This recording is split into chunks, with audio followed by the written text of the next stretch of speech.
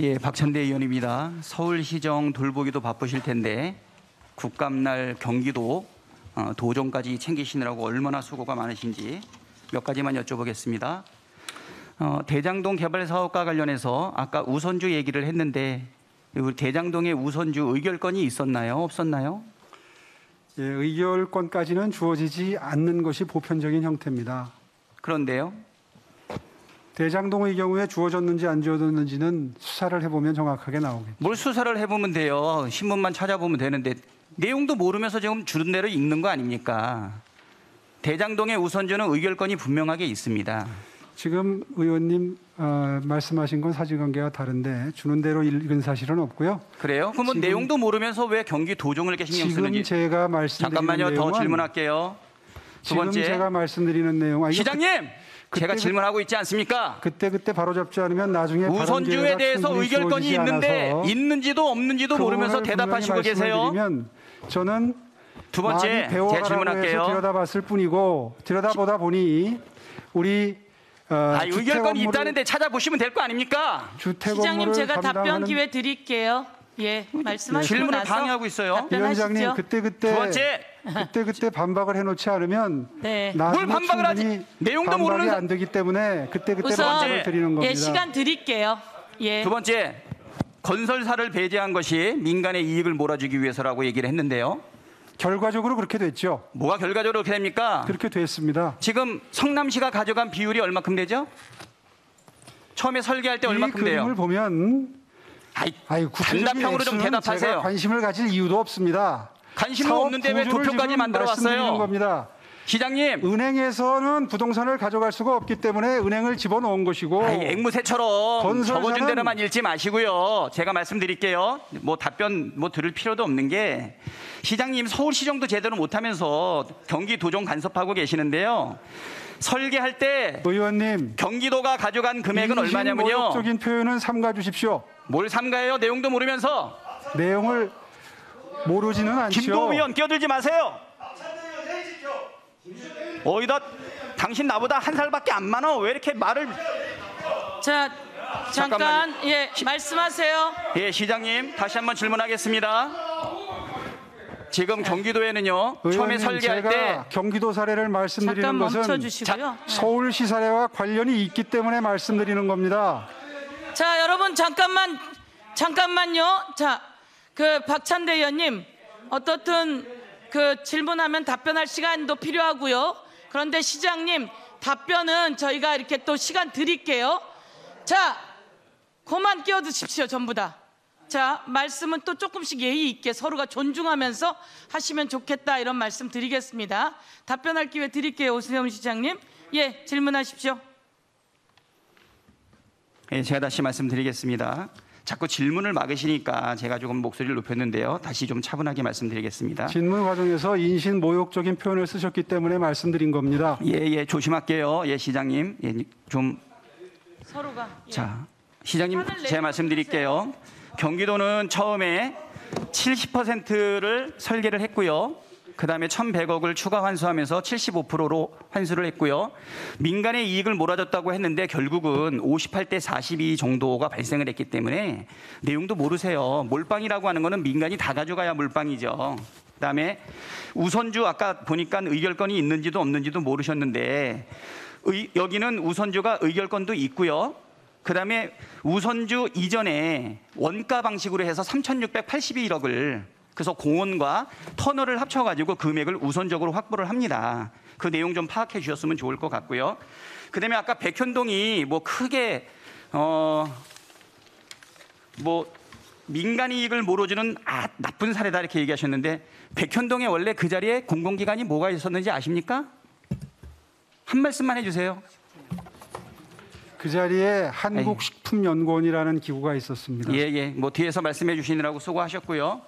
자, 여기 화면 좀 띄워 주세요. 저기 국토교통부 공문인데 뭐라고 되어 있냐면 예, 이렇게 써 있습니다. 지방이정 공공기관 종전 부동산 매각 관련 협조 요청 이렇게 되어 있어요. 누가 보냈냐면 박근혜 정부에서 보냈고요. 날짜를 살펴보게 되면은요. 어 2014년 1월 22일이에요. 여기 누구 누구 들어가 있냐면 수신자의 서울시 이렇게 들어가 있어요. 그다음에 당연히 뭐 성남시장도 들어가 있죠. 안양시장도 들어가 있고 전국에 공공기관을 지방으로 이전한다라고 하는 박근혜 정부의 방침에 맞춰가지고 지방 이전 공공기관 종전 부동산 매각과 관련된 협조 요청을 하고 있습니다. 그 다음 거 보여주세요. 그 다음 거는 한국식품연구원인데요. 그 이후에 공공기관 지방 이전 국책사업 적기 축, 추진을 위한 도시관리계획 결정, 적극적인 행정지원 협조 요청이라는 공문이 있어요. 이렇게 박근혜 정부가 공공기관을 지방으로 이전시켜서 지방과 중앙의 균형 발전을 이루기 위해 가지고 적극적으로 기초자치단체뿐만 아니라 광역단체한테도 부동산 매각을 협조해 달라고 여러 차례 공문을 보냅니다. 성남시가 여러 번 이거를 부인을 하다가 결국은 매각을 하고요. 그다음에 매각을 했는데 이 매수한 사람이 뭐라고 얘기를 하냐면 행정 지원도 요청을 해요. 용도 변경을 또 요구해요. 성남시가 몇 번 거절한지 아세요? 아이 묻지 않겠습니다. 뭐 아실 리가 없을 거라고 생각하고요. 그래서 이렇게 진행됐던 백현동의 식품 연구원과 관련된 이, 이 내용이에요. 이 내용을 사실 서울시정을 하시면서 경기도정까지 아시기 난 어렵다고 봐요. 그걸 모른다고 비난하는 게 아니고요. 서울시정에 집중을 해도 부족할 그리고 지금 서울시장 10년 만에 다시 하시면서 이제 6개월밖에 안 경과하지 않았습니까? 서울시정에 집중을 해야죠. 당에서 아무리 요구한다 그래가지고 판넬 들고 뒤에 써 있는 글 읽는 정도는 바람직하지 않다. 안타까워서 말씀드리는 거고요. 의원님, 그리고 제가 질의 하나 더 하겠습니다. 어, 가난한 사람은 불량식품도 먹을 수 있다. 이런 질문이 있는데 어떻게 생각하세요? 가난한 사람은 불량식품도 먹을 수 있게 해줘야 된다. 하나 더 물어볼까요? 일주일에 120시간 일할 수 있게 해줘야 된다. 이거 어떻게 생각하세요? 거두절미하고 질문을 하시면 제가 뭐라고 답변을 드릴까요? 그래요. 예, 대답하기 곤란할 거라고 생각합니다. 예.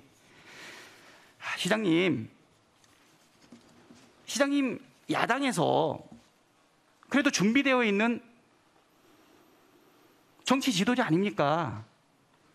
여기 좀 서울시장으로서 세 번째 10년 동안에 절치부심하셔가지고 다시 들어오셨는데 서울시장에 집중을 하셔야죠. 제가 아까 말씀드렸듯이 우선주의 의결권이 있는지 없는지 건설사를 배제한 것이 어떤 연유에 의해서인 것인지 그리고 백촌동의 식품연구원과 관련해서 이, 이 사람들한테 소지를 매각하고 용도를 변경하는 데 있어가지고 박근혜 정부 그리고 국토부 그런 데가 얼마나 영향을 미쳤는지에 대해서 내용을 아시고 답변을 하셔야죠. 좀 안타깝게 생각합니다. 왜 이렇게 미래가 기대되고 있는 예. 정치인께서 이런 꼭두같이 어, 역할을 하는지 참 안타깝게 생각합니다. 예. 박찬대 의원님 수고하셨습니다. 답변하시겠습니까? 네, 예, 시간이 답변하십시오. 좀 필요합니다. 네. 그 공원 가지고.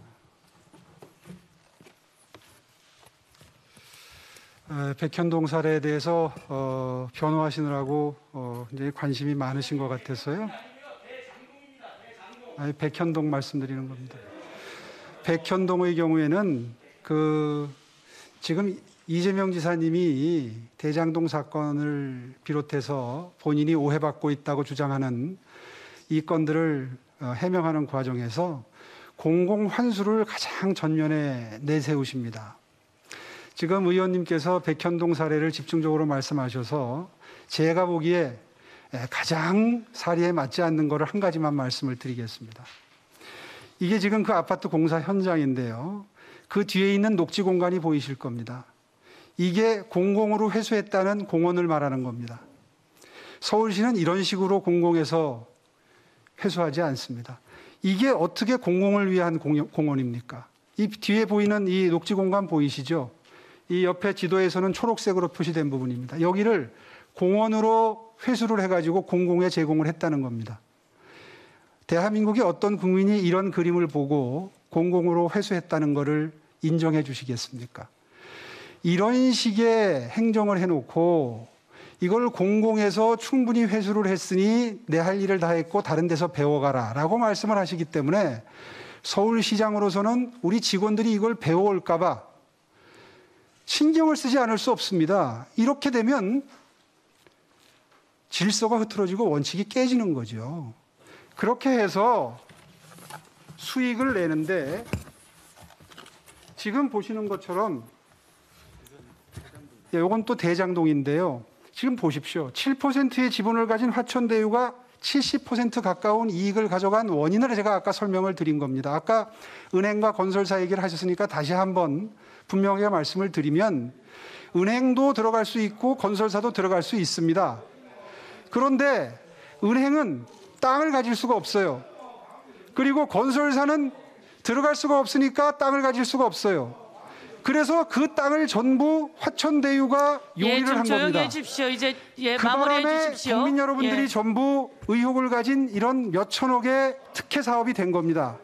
그걸 설명드리는데 예, 이제 왜- 마무리하겠습니다. 예, 예, 정리하겠습니다. 네. 다시 한번 말씀드리면 설계 단계부터 특정 민간 사업자가 거금을 벌 수 있도록 설계가 됐다는 걸 아까 설명을 드리는 과정에서 은행과 건설회사의 관계를 말씀을 드린 겁니다.